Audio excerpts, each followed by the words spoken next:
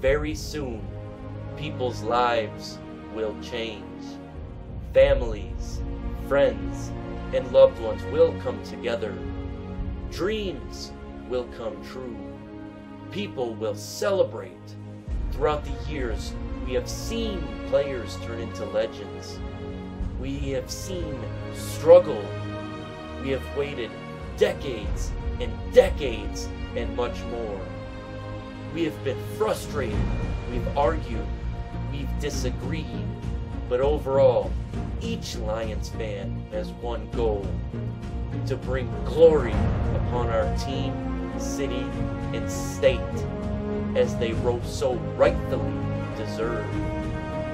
The voice of One Pride is here for a special event of shaping our beloved Lions into the ultimate goal.